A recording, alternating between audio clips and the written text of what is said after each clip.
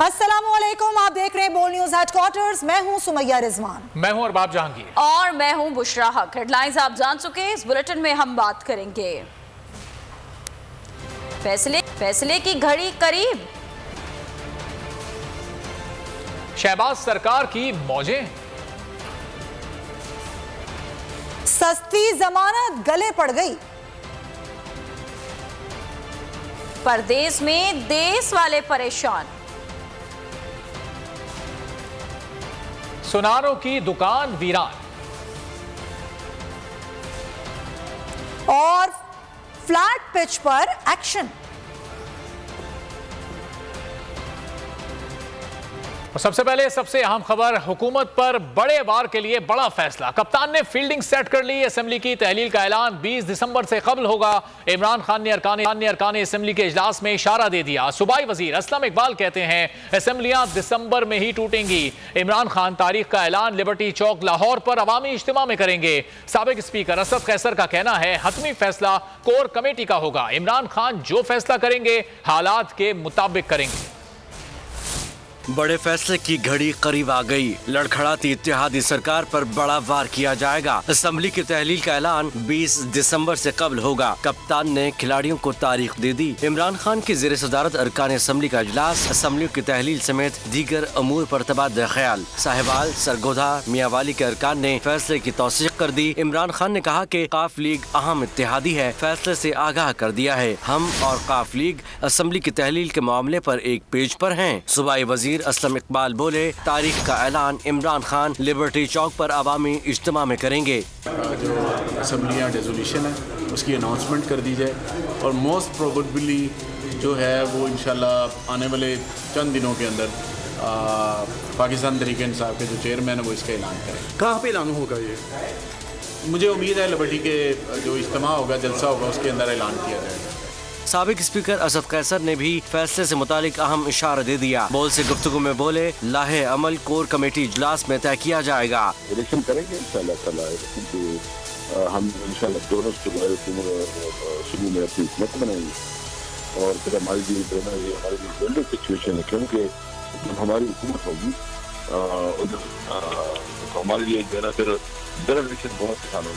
जरा के मुताबिक पी टी आई हुकूमत पर हर जानब ऐसी दबाव बढ़ाएगी। अरकान कौमी असम्बली भी एक बार फिर ऐवान में जाकर इस्तीफे देंगे। पीडीएम वाले इमरान खान का सियासी मैदान में मुकाबला नहीं कर सकते। उनकी कोशिश है किसी तरह किसी तरह इमरान खान के खिलाफ मुकदमा दर्ज कराएँ। असद उमर के शहबाज सरकार पर ताक ताक करवार तनकीद करते हुए कहा कि उनकी कोशिश है किसी तरह अपने मुकदमा खत्म करवाएँ। जर मुबादला में जो इजाफा किया था, वो तीन माह में ही गिर गया। किस तरीके इमरान खान के खिलाफ तरीके इंसाफ के लीडर्स के खिलाफ को झूठे मुकदमे बनाए जाएँ ताकि हम इनको काबू करें, क्योंकि इमरान खान का सियासी मैदान में तो मुकाबला होता नहीं। अपने जो करप्शन के केसेस हैं, वो किस तरह माफ़ कराए जाएँ? और सिर्फ़ तीन माह के अंदर वो इजाफा जो तीन साल में ज़र मुबादला के ज़खायर में किया गया था, वो तीन माह के अंदर तमाम का तमाम इजाफा जो है, वो जा चुका था। और उसी के साथ रुपए की कदर के अंदर तेज़ी से कमी आनी शुरू हुई। आपने मुल्क के अंदर एक अफरात ज़र का तूफ़ान देखा, एक महँगाई का तूफ़ान देखा जो पाकिस्तान की तारीख में पहले कभी नहीं हुआ। आज तक पाकिस्तान की तारीख के अंदर वो महँगाई नहीं देखी गई जो पिछले आठ माह के अंदर देखी गई। और यहाँ पर बात करते हैं कि पाकिस्तान तहरीक इंसाफ की जानब से। इलेक्शन कराओ, मुल्क बचाओ तहरीक के लिए मुख्तलिफ़ शहरों में रैलियाँ निकाली जा रही हैं। लाहौर टाउनशिप के इलाके में मेंबर पंजाब असम्बली तहरीक इंसाफ शब्बीर गुजर की तरफ़ से की तरफ़ से भी एक रैली का इनका किया गया है। रैली के साथ ही मौजूद है हमारे नुमाइंदे जाबिर वखास उनसे बात करते हैं। जाबिर क्या सूरत हाल बताएँगे आप रैली की?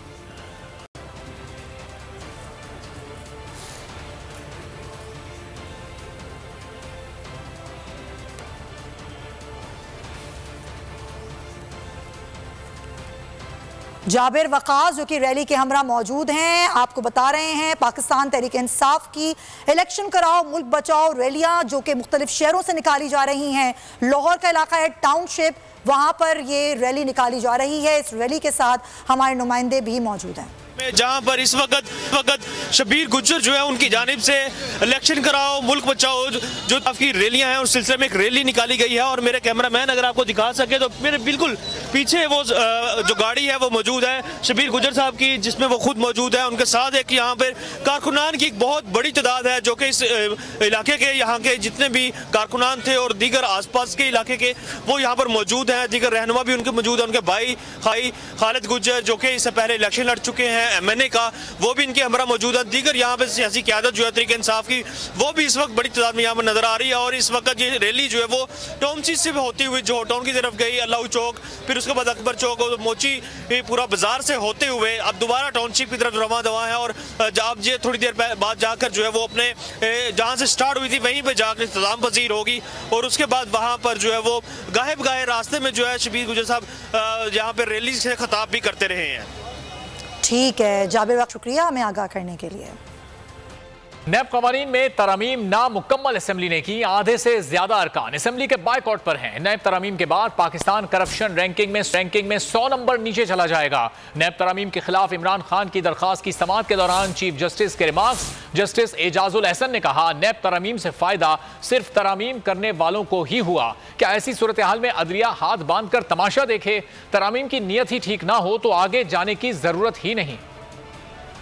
एनआरओ टू की लॉन्ड्री में धुलने वाली हुकूमती कोशिशें नाकाम नज़र आने लगी। नैब तरमीम के खिलाफ इमरान खान की दरख्वास्त पर सुप्रीम कोर्ट के अहम रिमार्क्स सामने आ गए। चीफ जस्टिस ने रिमार्क्स में कहा, करप्शन पर किसी सूरत मुआफ़ी नहीं होनी चाहिए। नैब तरमीम इस असम्बली ने की, जो मुकम्मल ही नहीं है। आधे से ज़्यादा अरकान असम्बली के बाइकआउट पर हैं। जस्टिस एजाजुल हसन ने रिमार्क्स दिए, तरामीम से फ़ायदा सिर्फ़ तरामीम करने वालों को ही हुआ। क्या ऐसी सूरत हाल में अदलिया हाथ बाँध कर तमाशा देखे? नैब तरमीम को बहस के बगैर जल्दबाजी में मंजूर किया गया। जस्टिस एजाजुल हसन का मजीद कहना था, चंद अफराद की दी गई लाइन पर पूरी सियासी पार्टी चल रही होती है। इस लाइन को फॉलो करने से फ़ायदा सिर्फ़ चंद अफराद की ज़ात को पहुँचता है। तरमीम की नीयत ही ठीक ना हो तो मजीद आगे जाने की ज़रूरत ही नहीं। जस्टिस मंसूर अली शाह ने कहा, तरमीम से पहले करप्शन रैंकिंग में पाकिस्तान अस्सी नंबर पर था। जस्टिस उमर अता बंदियाल ने कहा, नैब तरमीम के बाद पाकिस्तान सौ नंबर नीचे चला जाएगा। नैब कानून के गलत इस्तेमाल से कितने लोगों के कारोबार तबाह हो गए। चीफ जस्टिस ने रिमार्क्स दिए, अदालती फैसलों के बावजूद करप्शन खत्म नहीं हो सकी। मसला सिर्फ़ करप्शन का नहीं, सिस्टम में मौजूद खामियों का है। सिस्टम में मौजूद खामियों को कभी दूर करने की कोशिश ही नहीं की गई। अदालत ने मजीद समात कल तक मुलतवी कर दी। इमरान खान के वकील ख्वाजा हारिस अदालती सवाल के जवाब देंगे। कप्तान की तमाम पेश गोइयाँ सच साबित होने लगी। हुकूमती वजीरों को एन आर ओ टू से रिलीफ मिलने का मिलने का सिलसिला तेज़ी से जारी है। राना सनाउल्ला को मनशियात मुकदमे के बाद एक और इंक्वायरी में रिलीफ मिल गया। नैब लाहौर ने राना सनाउल्ला के खिलाफ आमदन से जायद असासे की इंक्वायरी बंद कर दी। एन आर ओ टू ऐसी शहबाज सरकार की मौजें लग गई एक के बाद एक रिलीफ मिलने का सिलसिला जारी। राना सनाउल्ला को मनशियात मुकदमे के बाद एक और इंक्वायरी में रिलीफ मिल गया। नैब लाहौर ने राना सनाउल्ला के खिलाफ आमदन ऐसी जायद असासे की इंक्वायरी बंद कर दी। डीजी नैब ने हतमी मंजूरी के लिए फ़ाइल चेयरमैन नैब को भिजवा दी। नैब लाहौर हाई कोर्ट का जमानत का फैसला भी सुप्रीम कोर्ट में चैलेंज नहीं करेगा। राना सनाउल्ला के खिलाफ तीन मुख्तलिफ़ शिकायत 24 अप्रैल 27 अप्रैल और 16 अगस्त 2019 को मौसू हुई। नैब ने राना सनाउल्ला के गिरफ्तारी के वारंट 9 नवंबर 2020 को जारी किए थे। जरा के मुताबिक नैब का मौकफ है कि नैब तरमीम ऑर्डिनेंस के बाद मजीद इंक्वायरी जारी नहीं रह सकती। जी हाँ नाजरीन, एनआरओ सीज़न टू असर दिखाने लगा। नैब के हाथ पाँव बनते ही सुलेमान शहबाज वतन वापस भी आए आए अदालतों में भी पेश हुए। इस्लामाबाद हाई कोर्ट ने शहबाज शरीफ के बेटे सुलेमान शहबाज की हिफाजती जमानत मंजूर कर ली। चौदह रोज में ट्रायल कोर्ट ने पेश होने का हुक्म दे दिया। मीडिया से गुफ्तगु में सुलेमान शहबाज ने अपने खिलाफ मुकदमा को इंतकामी कार्रवाई करार दिया, साथ ही दावा किया, मुल्क में अब फेयर माहौल है। एनआरओ सीज़न टू असर दिखाने लगा। नैब के हाथ पाँव बंधते ही सलमान शहबाज अदालत आ पहुँचे। इस्लामाबाद हाई कोर्ट ने चौदह रोज की हिफाजती जमानत मंजूर कर ली। शहबाज शरीफ के साहिबजादे साढ़े चार साल से लंदन में मुकीम थे। अदालतों ने बुलवाया मगर पेश न हुए। नोटिस गए मगर टस से मस न हुए। वालिद की सरकार का आना था कि अचानक वतन की याद तड़पाने लगी। सुलेमान शहबाज ने अदालत में पेश होकर खुद को सरेंडर कर दिया। केस की समाप्त चीफ जस्टिस आमिर फारूक ने की। अदालत ने सुलेमान शहबाज को 14 रोज में ट्रायल कोर्ट में पेश होने का हुक्म दिया। मीडिया से गुफ्तगू में सुलेमान शहबाज ने अपने खिलाफ मुकदमात को इंतकामी कार्रवाई करार दिया। दावा किया, अब मुल्क में फेयर माहौल है। पिछले चार साल में जो खेल तमाशा इमरान खान ने इस मुल्क के साथ किया, प्रेशराइज किया कि मुस्लिम लीग नवाज़ और शरीफ फैमिली को विक्टिमाइज करो। उनके खिलाफ जाली मुकदमात बनाओ।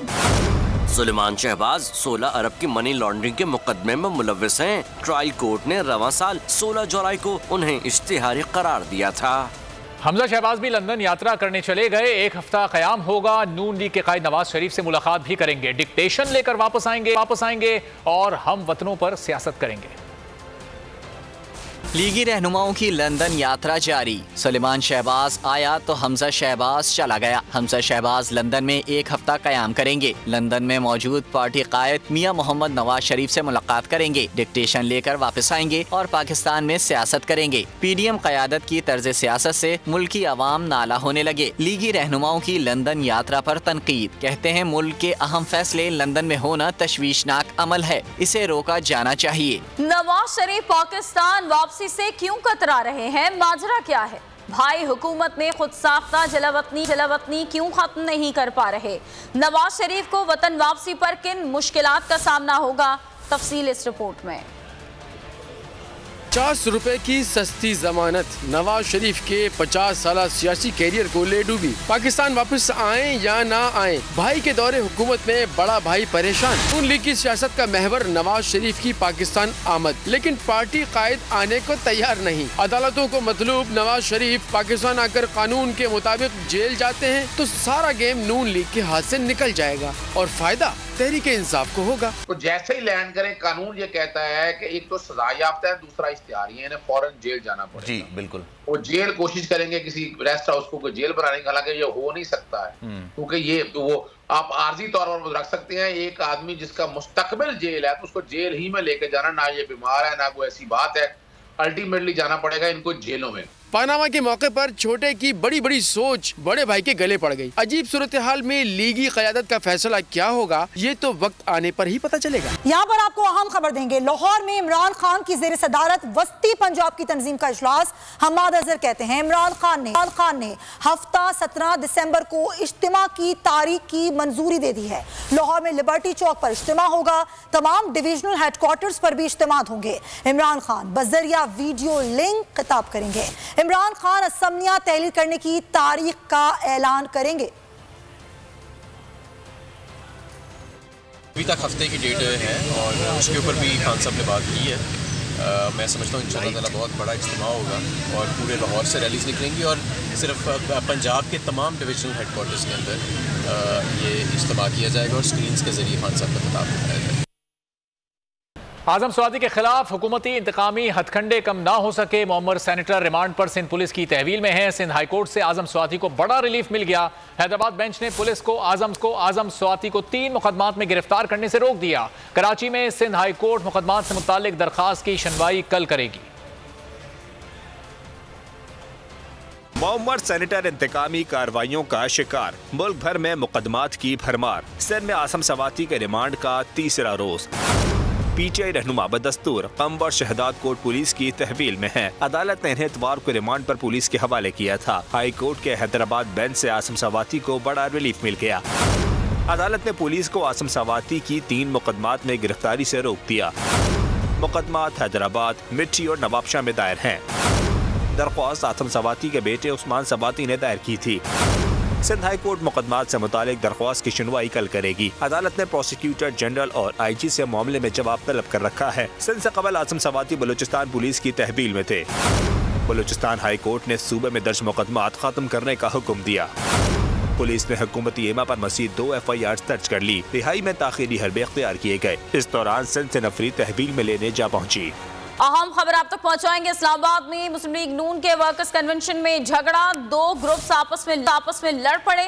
लीगी कारकुनान ने एक दूसरे के खिलाफ शदीद नारेबाजी भी की। हंगामा आराई शाहिद खाकान अब्बासी की कन्वेंशन से रवानगी के बाद शुरू हुई दो ग्रुप्स आपस में लड़े और एक दूसरे के खिलाफ नारेबाजी भी की गई। शदीद हंगामा आरई हुई, शदीद नारेबाजी की गई और ये हंगामा आरई शाहिद खाकान अब्बासी की कन्वेंशन से रवानगी के बाद देखने में आई। मनाजिर भी इस वक्त आप देख सकते हैं, बोल की स्क्रीन पर इस्लामाबाद में मुस्लिम लीग नून के वर्कर्स कन्वेंशन में झगड़ा हुआ है। दो ग्रुप्स आपस में लड़ पड़े। लीगी कारकुनान ने एक दूसरे के खिलाफ शदीद नारे नारेबाजी की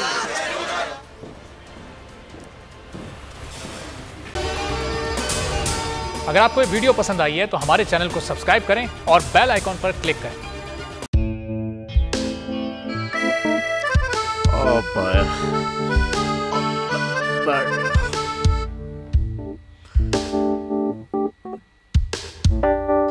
इंतज़ार से निकलने का वाहिद हल इंतबात है। हकीकी आज़ादी मार्च आज रवा खसम आयद के मुताबिक अगर आप उसको ये रिपोर्ट दे दे तो मैं आपको अपनी चार सीटें दे दूँगा। मौलाना। हाँ साहब वो वो जो रिमोट हमें दे दे और वो जो नीली पीली चैनल है वो लगाए। जाओ शबास।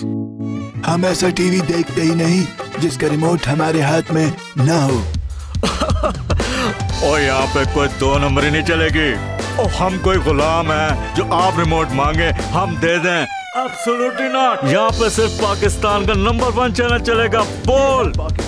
जो हकीकी सहाफत की जंग लड़ा है। पाकिस्तान के लिए कोई और नहीं, सिर्फ़ बोल खड़ा है। आप सब भी बोल देखें।